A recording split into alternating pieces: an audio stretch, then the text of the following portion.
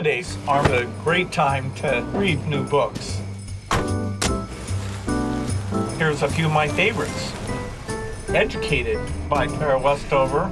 It's interesting that she's such a good writer. I mean, to go from growing up in Idaho, homeschooled, and I'm just going to do what my dad says, to being a Cambridge PhD, she not only found a way out, she found her way out with a lot of self respect and immense capability. Yuval Noah Harari's 21 Lessons for the 21st Century. He's a really strong thinker. He makes it clear that big problems, they're not solvable by a single country. The human mind wants to worry about the dilemmas we face today. This book is a better framework for all this worrying that people are doing.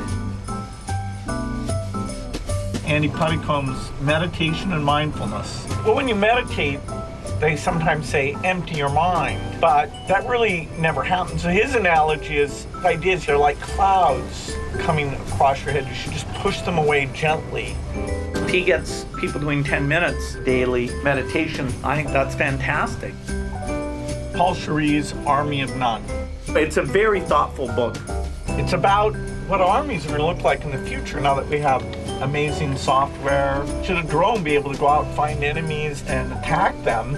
And should the U.S. have these autonomous weapons? Should the software be letting the humans make the decisions or not? And he's very cautionary that we need to hold back and not go all the way to robotic warfare. We should not give up human involvement in these weapons. Bad Blood by John Carreyrou. This is a thriller with a tragic ending. It's his story of a Silicon Valley startup, Theranos. They were doing diagnostics, and people were excited because Elizabeth Holmes, the founder, was young and energetic. Yes, great diagnostics will eventually come. They can be very cheap, not need as much blood, read out even your DNA. But when it all was revealed, they really didn't have what they were talking about. In fact, they'd been giving patients diagnoses that were actually dangerous because they were so wrong.